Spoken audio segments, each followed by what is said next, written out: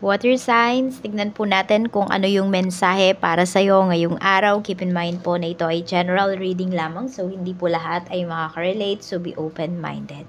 Sa mga hindi po po nakasubscribe dito sa ating channel, please subscribe na po kayo and palike na din po ng ating video at sa mga nais po mag-avail ating private readings ng ating Evil Eye Amulet, ng ating QR's Bracelet, makikita nyo po yung link sa description box, Tarot Intentions by Aliana Reyes. Okay, tignan po natin kung ano ang mensahe para sa'yo ngayong araw na ito. So, we have threatening. Okay, may nananakot po ba sa inyo dito? May nag-intimidate sa inyo dito? Ayan, pwedeng may mga threats kayo na nare-receive. Mm-mm. Meron ba dito na sa politika?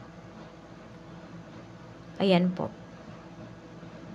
Or meron kayong ano ba? Ayan o. May nagtatreat kasi sa inyo. Meron ba kayong nakaaway? Meron kayong gulo na napasok dito, water signs. Ayan po, tingnan natin. Ano pa yung mensahe? We have screenshot. Okay. So, meron nga dito na nanakot po sa inyo. It's either nananakot sa inyo, tinet, uh, ano yan, death threat for some of you. Yan, may nagsisend po sa inyo. So, sinasabihan kayo dito ni Universe na ito po ay parang screenshot po ninyo as evidence. Ayan, ipaprint ninyo. Kasi yung iba sa inyo dito, pwedeng magsasampa po kayo ng kaso.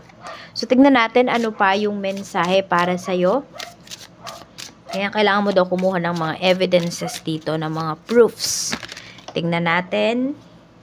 Okay, kaya ingat din kayo sa mga sinasabi nyo or kinikwento nyo sa ibang tao kasi pwede nilang magamit yun against you. So, we have reckless love. Okay, so some of you pwedeng ang, pero man ang blackmail sa inyo dito at ang namba-blackmail po sa inyo dito ay could be ex po ninyo or ka, yung current na karelasyon po ninyo. Baka pag may hindi siya nakukuha sa inyo, tinatakot po kayo. Ayan, yung iba sa inyo, ganun yung nangyayari. Okay, so may karmic ties kayo kasi ng taong to. Okay?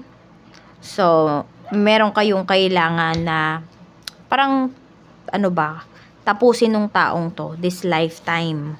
May mga lessons po kayo na kailangang uh, tapusin. Alam niyo yung iba sa inyo kaya medyo parang para bang ano, mahirap yung inyong relasyon or hindi kayo sobrang happy kahit na alam nyo na mahal nyo yung isang tao kasi po pwede na may mga lessons kayo na kailangan tapusin, matutunan Tingnan natin ano pa yung mensahe. Okay? Pagdating naman po sa kung ano pa yung pwedeng mangyari para sa'yo.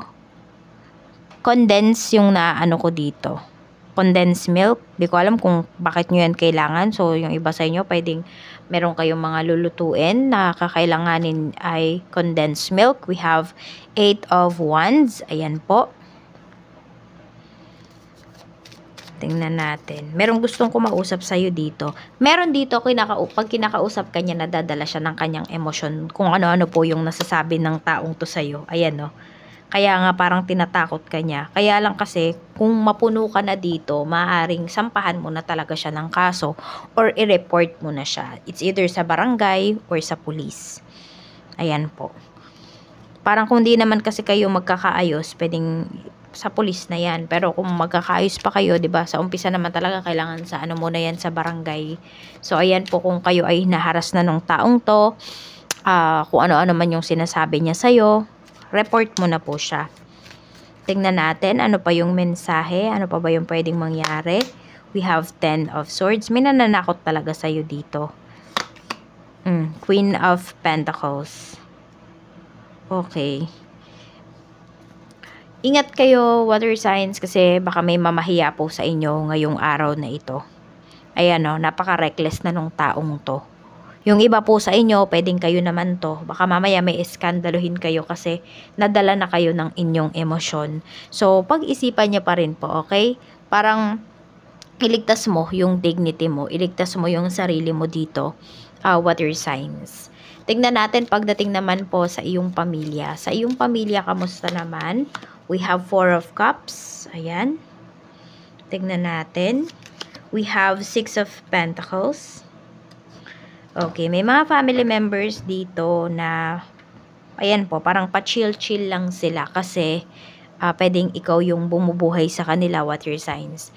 Ikaw yung nagbibigay ng pangsustento, ayan, ng pera sa kanila. Yun yung nakikita ko dito. May mga family members ka na uh, pa-chill-chill lang ngayon. Pwedeng kayo yung nag-aaway-away. For some of you naman, we have nine of swords and you are not happy na talaga about dito sa sitwasyon, about dito sa ginagawa nila ng mga family members mo. May mga, yes, may mga family members ka po dito na umaabuso talaga sa'yo, sa kabaitan mo, sa mga binibigay mo sa kanila. Meron nga po dito na to-tolerate kayo, hindi na siya nagtatrabaho. Or hindi na sila nagtatrabaho kasi alam naman nila monthly may dumarating sa kanila. Yung alam mo yun, malakas pa naman sila, kaya pa talaga nila. Okay? Pero nag-decide na sila, ay, hindi na ako magwo-work kasi lagi naman nagpapadala si water signs. Buwan-buwan naman, meron ako nare-receive galing sa kanya. Ayan. Tapos kayo dito, nai-stress kayo, 'Di ba? Pa-chill-chill lang yung mga tinutulungan mo, pero ikaw dito, nai-stress ka kasi di mo alam kung saan mo nakukuhanin yung mga other expenses mo. Kasi nabigay mo na sa kanilang lahat. Meron dito, lagi pong nag-aabang ng second ayuda mo kada buwan. Yan, dapat isa lang, 'di ba? One time lang dapat. Pero sa kanya pwedeng nagiging dalawa, tatlo. Kaya nai-stress ka. And yung iba sa inyo, hindi na lang stress nararamdaman nyo pwedeng nade-depress na kayo kasi wala man lang nangangamos sa inyo dito.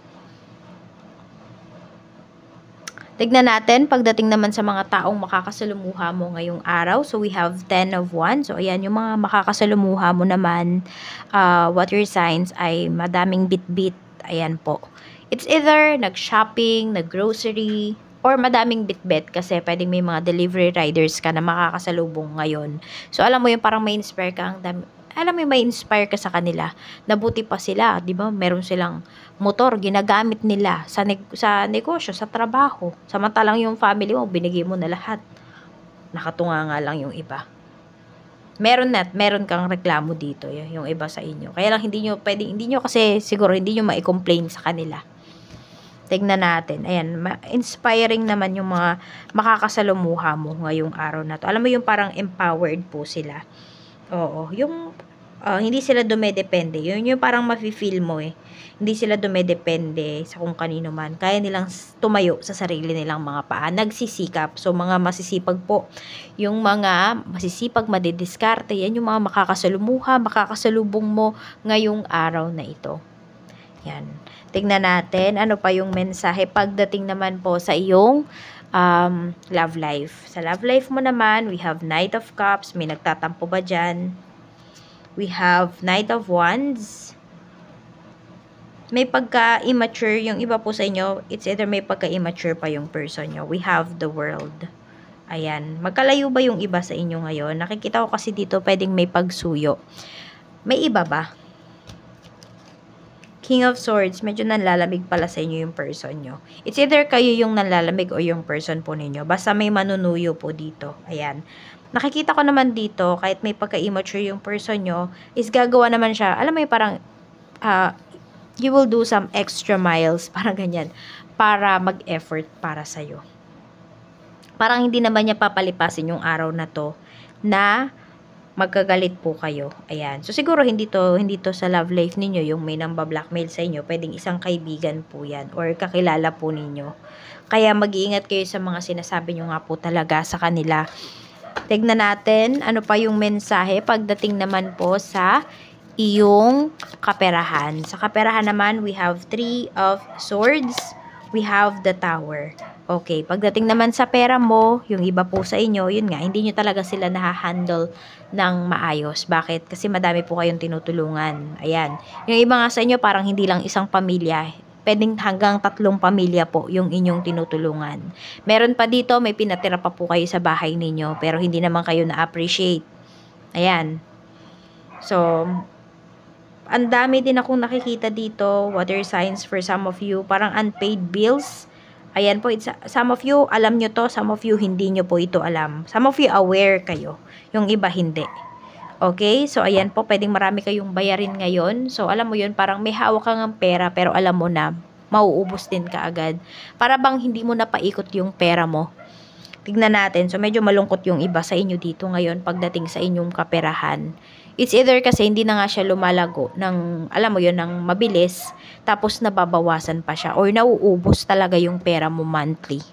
Tignan natin pagdating naman po sa negosyo. Sa negosyo, we have King of Cups and we have Knight of Swords.